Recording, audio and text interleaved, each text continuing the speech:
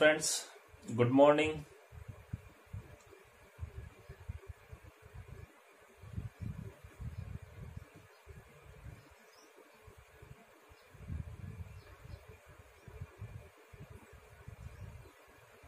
जैसा कि आप सबने पिछले लेक्चर में देखा था, हम पढ़ रहे थे स्पीड कंट्रोल मेथड जिसमें हमने कैस्केड अरेंजमेंट पढ़ा था।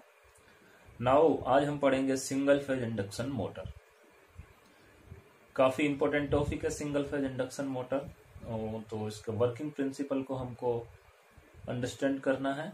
और एप्लीकेशन वाइज अगर हम बात करें तो जो हम फ़ैन लोड्स जितने भी यूज़ करते हैं हमारे घरों में कमर्शियल बिल्डिंग्स में डोमेस्टिक बिल्डिंग्स में जो फ़ैन लोड होता है, उसमें जो मोटर लगी होती है वो सिंगल फ़ेज़ मोटर होती है। तो सबसे पहले हम इसका वर्किंग प्रिंसिपल आज पढ़ेंगे हम। सिंगल फ़ेज़ इंडक्शन मोटर का। तो बने रहिए आप इस वीडियो में और देखते रहिए, सीखते रहिए। हम स्टार्ट करते हैं कि सिंगल फ़ेज़ इंडक्शन मोटर कैसे रन करती है, कैसे ऑपरेट होती है। जनरली इसका जो बेसिक प्रिंसिपल होता है वो थ्री फ़ेज़ इंडक्शन मोटर की तरह ही होता है। जिस तरीके से three phase induction motor work करती है, वैसे ही सिंगल फ़ेज़ इंडक्शन मोटर भी वर्क करती है। थोड़ा सा डिफरेंस है कि ये सेल्फ स्टार्ट नहीं होती। अगर सिंगल वाइंडिंग स्टेटर पे कनेक्ट होती है तो ये सेल्फ स्टार्ट नहीं होती। By some means of we have to start it so, all these things we will cover in this lecture today. Okay? Let we start. तो इसके वर्किंग प्रिंसिपल को स्टार्ट करने से पहले मैं आपको पल्सेटिंग फ़ील्ड और रोटेटिंग फ़ील्ड के बारे में थोड़ा बताऊँगा तो आप इजीली इसके प्रिंसिपल को समझ जाओगे। इससे पहले हम थ्री फ़ेज़ इंडक्शन मोटर का वर्किंग प्रिंसिपल पढ़ चुके हैं तो हमारे लिए बहुत ज़्यादा कोई डिफिकल्टीज इसमें नहीं होगी। लेकिन मैं आपको रिवाइज करा देता हूँ वापस कि पल्सेटिंग फ्लक्स क्या होता है और रोटेटिंग फ्लक्स या रोटेटिंग मैग्नेटिक फ़ील्ड किस तरीके से प्रोड्यूस होता है हमारी इलेक्ट्रिकल मशीन्स में। लेट्स सी देखिए। स्क्रीन पर। तो सपोज़ ये हमारी एक इंडक्शन मोटर है। इसका ये वाला पार्ट जो है स्टेटर है। दिस इज़ स्टेटर ये स्टेटर है। और इसको मैंने एक सिंगल फ़ेज़ सप्लाई प्रोवाइड कर दी है। क्या प्रोवाइड करवा दी है? सिंगल फ़ेज़ सप्लाई तो यहाँ से एक करंट फ्लो होगी जिसका नाम दे दिया मैंने आई और एक कोयल मैंने वाउंड की है इसके स्टेटर पे, जिस कोयल को सपोज़ वो कोयल इस तरीके से मैंने बाउंड की है, इस तरीके से क्लॉकवाइज डायरेक्शन में, और कंसंट्रेटेड कोयल है। This coil is not the distributed along the periphery of this machine, but it is concentrated. So, let's suppose इसमें जो करंट एंटर हो रही है वो यहाँ से एंटर हो रही है और यहाँ से बाहर निकल रही है।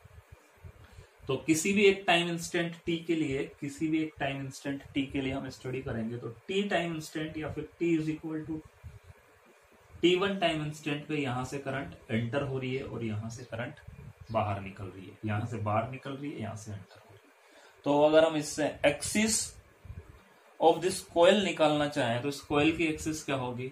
कोयल की axis right hand thumb rule से आप निकाल लीजिए।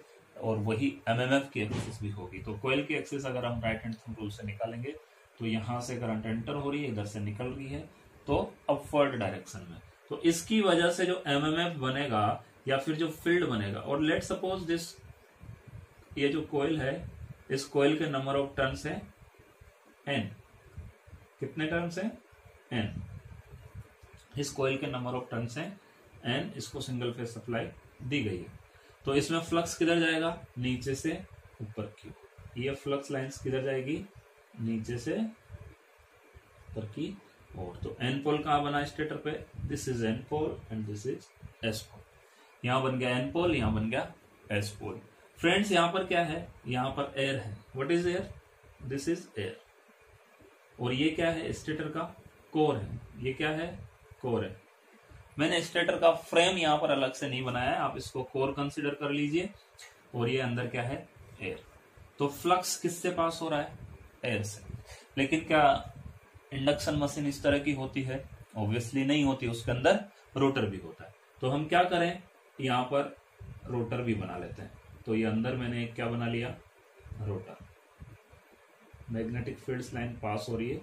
नीचे से ऊपर की तरफ़। तो अब ये रोटर में वापस क्या हो गया? ये आयरन का बना हुआ होता है फेरोमैग्नेटिक मटेरियल का, या फिर स्टील का। जनरली स्टील का बना होता है ताकि एडी करंट लॉसेस उसमें कम हो जाए लेमिनेटेड स्टील होती है। तो ये आयरन लिख दिया मैंने यहाँ पर फेरोमैग्नेटिक मटेरियल का, हम इसको थोड़ी देर के लिए आयरन का कंसीडर कर लेते हैं। और जिसकी परमिएबिलिटी म्यू क्या है? इनफाइनाइट इनफाइनाइट परमिएबिलिटी का हम किसी भी मटेरियल की परमिएबिलिटी इनफाइनाइट नहीं होती, लेकिन हम अंडरस्टैंड करने के लिए ताकि इजीली हम चीज़ों को समझ लें, हमने क्या मान लिया कि ये इनफाइनाइट परमेबिलिटी की कोर है? आयरन है, जो भी है। इनफाइनाइट परमेबिलिटी की कोर है। सिमिलरली ये वाली जो स्टेटर की कोर है, वो भी इनफाइनाइट परमेबिलिटी की है। अगर परमेबिलिटी इसकी इनफाइनाइट है तो रिलक्टेंस कितना हो गया?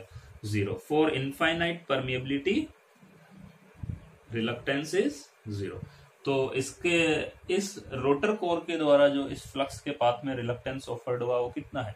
ज़ीरो सिमिलरली स्टेटर की कोर के द्वारा भी जो रिलक्टेंस ऑफर्ड हुआ फ्लक्स के पाथ में, क्योंकि ये रिटर्न इधर से होगा। ये कहाँ से रिटर्न होगा? इधर से। स्टेटर कोर से, और ये वाला इधर की स्टेटर कोर से रिटर्न होगा। तो इनफाइनाइट परमेबिलिटी यहाँ पर क्या है? एयर और सपोज़ करो जो ये एयर गैप लेंथ है स्टेटर और रोटर के बीच की, वो है जी तो हम क्या करना चाह रहे हैं हम चाह रहे हैं कि ये फ्लक्स की, इस फ्लक्स, जो ये फ्लक्स है एमएमएफ भी बोल सकते हैं, फ्लक्स है, उसकी वेवफॉर्म हम ड्रॉ करना चाह रहे हैं with respect to the mechanical angle alpha और एल्फा क्या है? इस मशीन का पेरिफेरल एंगल है। मैंने क्या कर लिया? ये वाली एक्सिस जो है, इसको रेफरेंस एक्सिस चूज़ कर लिया। इसको क्या मान लिया? रेफरेंस एक्सिस और इस एक्सिस पे मैंने बोल दिया alpha is equal to zero degree है और एल्फा क्लॉकवाइज डायरेक्शन में मैंने एल्फा को पॉजिटिव मान लिया ठीक है? अब फ्रेंड्स देखिए आप, ये जो फ्लक्स है, वो क्या कर रहा है? फाइनली एयर से आयरन में एयर से स्टील में, यहाँ पर एयर से स्टील में एंटर कर रहा है। और यहाँ पर क्या कर रहा है? स्टील से या आयरन से एयर में एंटर कर रहा है। तो एक जगह तो क्या कर रहा है? एयर टू कोर कोर बोल देते हैं इसको। और दूसरी side core to air ultimately तो एयर से जो कोर में एंटर हो रहा है, उसको मैंने बोल दिया पॉजिटिव फ्लक्स और जो कोर से एयर में एंटर हो रहा है, उसको मैंने बोल दिया नेगेटिव फ्लक्स ठीक है? तो अब देखिए आप alpha is equal to zero पे जो फ्लक्स है, वो एयर टू कोर में एंटर हो रहा है। वैसे इधर से जो फ्लक्स लेंथ जाएगी, वो भी इस तरीके से। ये इस तरीके से, ये इस तरीके से। इधर से मोल्डो क्या जाएगी? इस तरीके से। तो ये फ्लक्स इधर साइड जा रहा है और ये स्टेटर से होते हुए स्टेटर की कोर से होते हुए वापस आ जाएगा। यहाँ पर कैसे जाएगा? इस तरीके से। इस तरीके से ये बनेगा। इस तरीके से। इधर भी इसी तरीके से।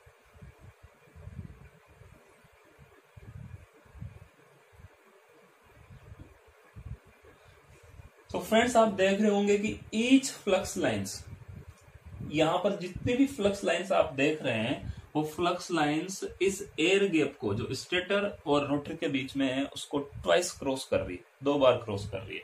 और दोनों का, दोनों दोनों टाइम्स जैसे सपोज़ करो आप ये वाली एक फ्लक्स लाइन्स कंसिडर कर लीजिए तो इधर भी एयर गैप कितना है? जी उधर भी एयर गैप कितना है? जी क्योंकि ये रोटर तो इसकी सेप होती है चारों तरफ़ से, एक एक तरफ़ एक जैसी होती है। तो एयर गैप है, वो यूनिफॉर्म है। पूरा का पूरा एयर गैप क्या है? यूनिफॉर्म है। तो एयर गैप को ट्वाइस क्रॉस कर रही है ईच फ्लक्स लाइंस और दोनों ट्वाइस जो क्रॉस कर रही है, दोनों बार में जो, दोनों टाइम्स उसके बीच में जो रिलक्टेंस आ रहा है, वो सेम है। हर एक फ्लक्स लाइन्स के लिए। अगर रिलक्टेंस हर एक फ्लक्स लाइंस के लिए सेम है तो एमएमएफ क्या होता है? MMF is equal to flux into reluctance अब क्योंकि ईच फ्लक्स लाइंस के लिए रिलक्टेंस तो सेम है तो फ्लक्स क्या हो गया? Flux is proportional to M M proportional किसके हो गया? एम एम एफ़ के, क्योंकि रिलक्टेंस कांस्टेंट है इस फ्लक्स लेंस के लिए। तो हम फ्लक्स की वेवफॉर्म बनाना चाहते हैं। फ्रेंड्स देखिए alpha is equal to zero से लेके alpha is equal to ninety degree तक। Alpha is equal to ninety degree तक। फ्लक्स लाइंस एयर से स्टील कोर में एंटर हो रही है। जिसको हमने क्या माना है? पॉजिटिव फ्लक्स तो ये मैंने alpha is equal to zero degree ये alpha is equal to zero degree यहाँ से फ्लक्स को क्या कर दिया? Alpha is equal to ninety degree तक। पॉजिटिव फ्लक्स ये पॉजिटिव फ्लक्स इसको सही तरीके से बना लेते हैं अपन। Alpha is equal to zero से 90 डिग्री तक। यहाँ पर है alpha is equal to 90 degree और 90 से 270 डिग्री तक 90 90 के बाद 180 180 के बाद 270 270 तक 270 डिग्री मैकेनिकल एंगल तक एल्फा की वैल्यू जब 90 से 270 होती है, तब स्टील कोर से एयर में फ्लक्स एंटर हो रहा है। उसको हमने क्या मान लिया? नेगेटिव फ्लक्स तो ये 90 डिग्री से 270 डिग्री तक, इसको बोल दिया 270 डिग्री, यह है 90 डिग्री। यहाँ तक फ्लक्स क्या है? नेगेटिव और ये यहाँ पर वापस फ्लक्स पॉजिटिव कहाँ से? 270 से। अगेन 360 डिग्री या फिर ज़ीरो डिग्री तो इस तरह की फ्लक्स लाइन्स होगी। सिमिलरली यही फ्लक्स लाइन्स पीछे की तरफ़ भी होगी। इसको पीछे की तरफ़ कंसिडर करें तो ये इधर से आ रहा होगा फ्लक्स अब ये मैंने स्क्वायर वेवफॉर्म बना दी। स्क्वायर स्क्वायर वेवफॉर्म क्यों बना दी? क्योंकि रिलक्टेंस हर एक फ्लक्स लाइन्स के पास में मिल रहा है, वो कांस्टेंट मिल रहा है, इसलिए स्क्वायर फ्लक्स की वैल्यू क्या रहेगी? कांस्टेंट। इसलिए मैंने कांस्टेंट बना दी अब दोस्तों